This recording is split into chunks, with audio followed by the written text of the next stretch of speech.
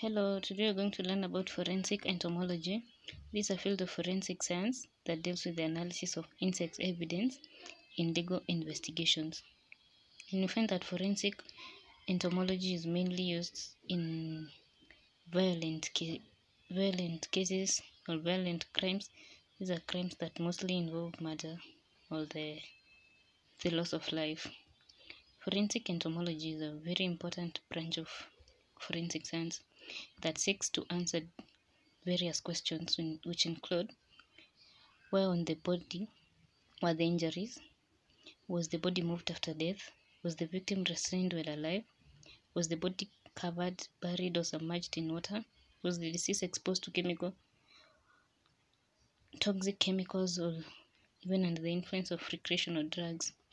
These questions guide the guide a forensic entomologist in their analysis and help them to come up with good results.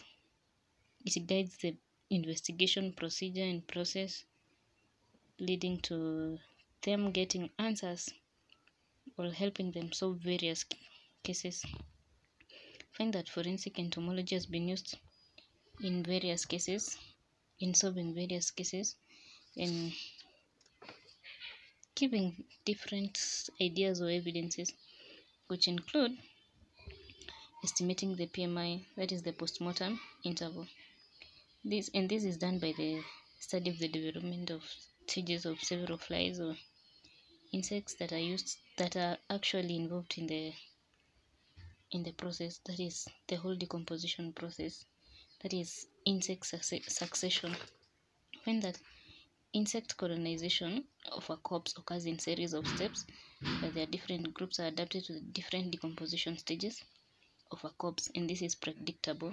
That is in the different stages of decomposition as we are going to see below. Then there is entomotoxicology. Entomotoxicology is the analysis of drugs and toxins on the development stages of of current feeding insects.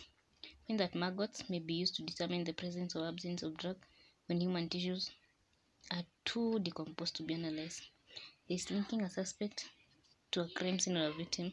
This could be using insects insect bites that are similar to the victim and the suspect or insect evidence that is similar to the suspect in the crime scene. Identifying the location of food on a corpse. We find that presence of open wounds would be shown by the presence of a maggot determining whether the body was moved identifying the geographical range of the crime scene. These two are solved by asking yourself the questions Were the insects found on the body inhabitants of that environment or of a different environment? The answer to that helped in solving the two questions. Identification of the victim. This is by using the DNA that's found on the maggots that already fed on the corpse where the human tissues are too degraded for DNA analysis identifying the source of contrabands by checking whether the insects are inhabitants of that area and also providing evidence of abuse or neglect. For example, if a person was tied or restrained when they were alive, they didn't move, there would be fecal material and urine, and urine, and f- house flies would be the first to arrive. As you know, house flies are attracted to to dirt as compared to other flies. That would therefore be an evidence of abuse or neglect.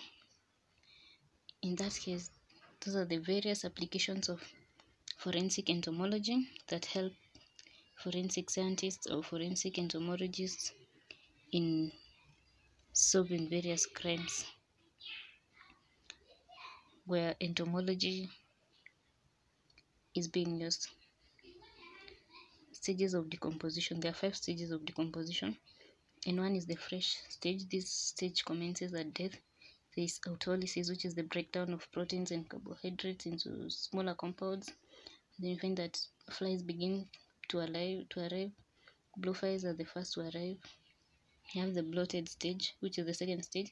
In this, there is putrefaction, putrefaction begins. Then there is rise in temperature, and there is odor of decaying flesh.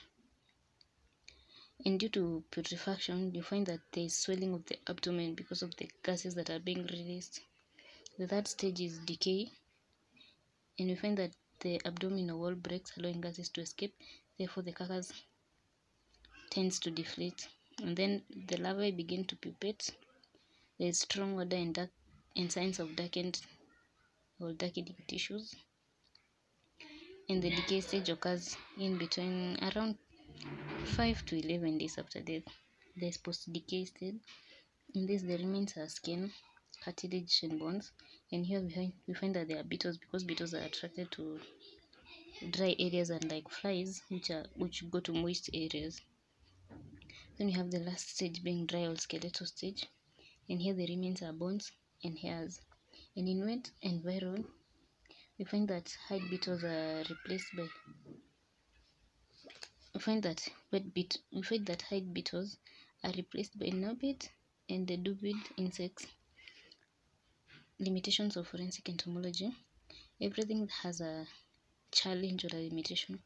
We find that forensic entomology relies on a insect abundance, and we find that in winter there are fewer insects, hence its use is limited.